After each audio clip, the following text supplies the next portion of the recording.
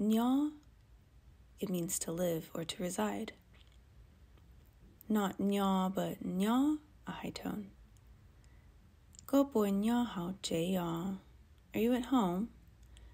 Go boy nya how jay ah.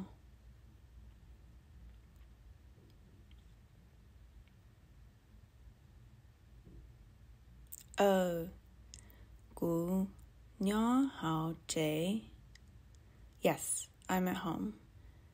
Oh, or uh huh. gu nya how jay